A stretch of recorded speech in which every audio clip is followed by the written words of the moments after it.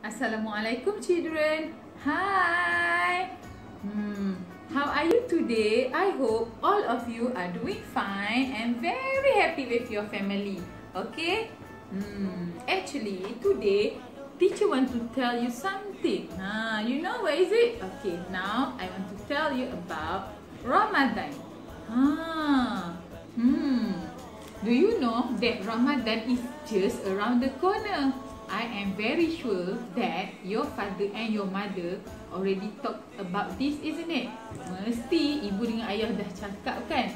Hmm, nak dekat bulan Ramadan dah ni, betul tak? Ha, tahu tak? Bulan Ramadan tu bulan yang ke-9 dalam bulan-bulan Islam. Kenapa? Tak percaya? Tak percaya cakap teacher, jom kita buat revision tengok. Okay children, now let's do the revision together, okay? Okay. Muharram Safar Rabiul Awal Rabiul Akhir Jamadil Awal Jamadil Akhir Rejab Syakban Ramadan Syawal Zulkaidah Zulhijjah. So Ramadan is the ninth month isn't it? Bulan yang ke sembilan Ye pandai. Okay. Children, do you know that Ramadan is the fasting month for umat Islam. Ha. Tapi tahu tak fasting tu apa? Ha, fasting tu maksudnya berpuasa. Hmm, berpuasa tu apa pula? Ha, berpuasa tu maksudnya we cannot eat and we cannot drink during the daytime. Besides that, we also cannot do something that can break our fast. Ha, maksudnya kita tak boleh melakukan sesuatu perkara yang boleh membatalkan puasa kita tu. Okey, contoh, kita tidak boleh memasukkan sesuatu ke dalam rongga badan kita contohnya. Okey, kita saja-saja ambil barang masuk dalam telinga. Cannot masuk dalam. Ha, okey, Lepas tu kita pun tak boleh walaupun kita tak makan kita ambil uh, contoh kita ambil the ice cream stick kita masuk dalam mulut. Kita tak boleh makan ice cream stick right tapi kita tetap masuk dalam mulut kita. So tetap membatalkan puasa. Okay? Ha. Ha, tahu tak? Berpuasa di bulan Ramadan tu merupakan rukun Islam yang ketiga. Okay, selepas solat lima waktu. Ha. The most important things is when Ramadan comes, the door of the paradise are open and the door of the hell ha, closed and all the devils are chained so they cannot disturb us. Ha, jadi kita tahu kan bila Ramadan maksudnya semua pintu-pintu syurga Allah buka. Okey, pintu neraka Allah tutup dan semua syaitan-syaitan Allah ikat, Allah rantai supaya dia tak boleh kacau kita. Hmm. Okey, tapi sebelum kita puasa tu kita kena niat dulu, okey? Macam mana niat puasa? Okay, niat puasa like this teacher will teach you. Nanti boleh baca dengan ibu, dengan ayah, okay? Ha. Okay, niat puasa macam ni. Nawaitu sawma ghadin an ada ifardi ramadana Hazihi sanati lillahi ta'ala Sahaja aku berpuasa esok hari di bulan Ramadan tahun ini kerana Allah Taala. Okay, bila dah kita dah puasa for for the whole day, then it's about time for us to break our fast.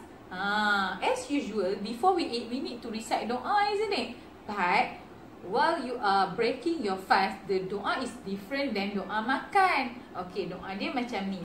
Bismillahirrahmanirrahim. Allahumma laka sumtu wa bika amantu wa ala rizqika aftartu bi rahmatika ya arhamar rahimin. Maksudnya, ya Allah, keranamu aku berpuasa dan denganmu aku beriman dan di atas rezekimu aku berbuka dengan rahmatmu wahai yang maha pengasih dan penyayang. Amin. Okay, sebenarnya kita puasa ni bukanlah daripada pagi sampai malam tu. Kita puasa daripada terbit fajar sampai waktu maghrib tu. Waktu matahari terbenam. Okay? masa kita nak berbuka puasa tu, masa maghrib tu kan kita buka puasa kan. Okay, don't forget to recite doa. Buka puasa, recite doa makan. Lepas tu, kita makan. Makan pun kita tak boleh makan banyak makan. We, we cannot eat too much food. Sebab kita rasa, oh saya dah puasa sehari. We need to eat a lot. No, we just eat little bit, okay? It is a sunnah for us to break our fast with dates. Okey dengan buah kurma. Kita buka puasa dengan buah kurma itu adalah sunnah. Okey. Uh, di samping itu, okey during Ramadan month, sepanjang bulan Ramadan, kita sepatutnya buat benda-benda yang baik. Okey, kita tak boleh buat perkara-perkara yang Allah tak suka. Contohnya fighting. Ha, so you cannot fight with your brother, with your sister, with your friends. Ah, cannot, okay. And also we cannot tell lies. Kita tak boleh tipu, okay. Kalau orang tanya, kena cakap betul, cannot lie, okay. And then we also cannot talk bad about others. Kita boleh cakap yang tak elok tentang orang lain. Nanti Allah marah. Nak ke Allah marah tak nak kan? Ha. Okay. So we know right that Ramadan is a holy month, bulan yang mulia, bulan suci. Sebab in this month Allah will forgive us easily. Ha, Allah akan maafkan kita dengan senang kalau kita buat baik, okay? And dalam bulan Ramadan juga Allah akan multiply our reward. Allah akan ganda, ganda, ganda kan pahala untuk kita. Nak tak pahala berganda? So if we want pahala kita berganda, kita kena buat a lot of good things to get a lot of rewards. Okay? Okay, since we want Allah to give us more pahala, so kita kena buat lagi banyak ibadah. Contohnya, bulan-bulan lain pun kita baca doa, tapi dalam bulan-bulan Ramadan ni kita kena baca banyak lagi doa. Okay? Bulan lain pun kita baca Al-Quran, tapi dalam bulan Ramadan ni kena baca banyak lagi Al-Quran. Okay? Dan in Ramadan month kita ada satu special solat iaitu solat tarawih.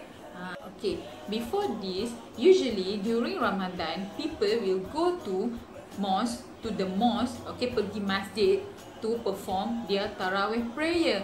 But not this year, okay. This year, we are advised to stay at home and perform our solat tarawih. Kenapa? Kenapa kita tak boleh pergi masjid tahun ni? Ha, sebab this year Allah uji kita dengan satu wabak iaitu wabak COVID-19. COVID-19 which is we cannot go out we just stay at home and do our work at home do everything at home okay ha. that means you can pray with your family at home ha. pray together at home okay okay everybody let's be thankful to Allah for giving us another chance to meet another Ramadan this year.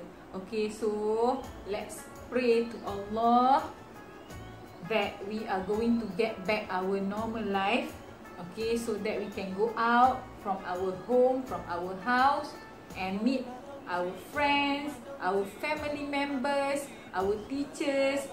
Okay because it's very sad to be separated. Okay dalam bulan Ramadan juga Allah ada kurniakan kepada umat Islam malam Lailatul Qadar. Okey, malam Lailatul Qadar itu adalah malam yang Allah kurniakan pada 10 malam terakhir. Tapi kita tak tahu bila lah.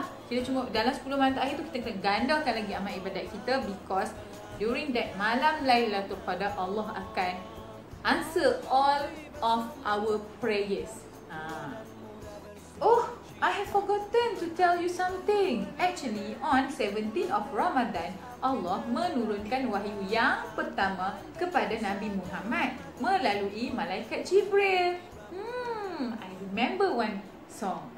17 Ramadan turunlah wahyu di malam terang di gua Hira.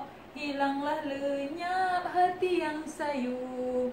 Jibril menyuruh bacalah Iqra. Now we already know right that Ramadan is a very beautiful month, a very special month for us.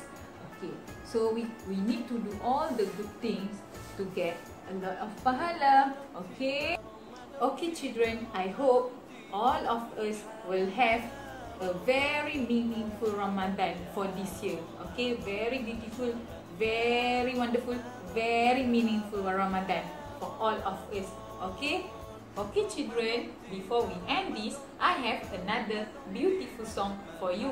But I am very sorry if my voice is not as beautiful as the song, okay? Ramadan bulan ibadah, bulan kerahmatan dan keampunan. Para malaikat merendahkan sayap untuk menghitung pahala. Ramadan bulan berpuasa, bulan kesabaran dan keinsafan.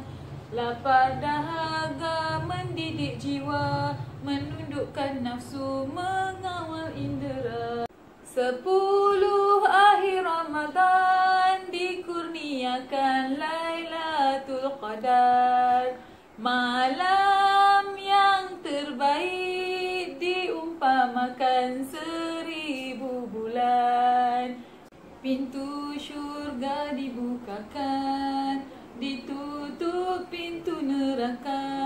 Dibelenggu syaitan yang durjana dihentikan azab di pusara Ramadan bulan yang mulia Okay children, see you soon.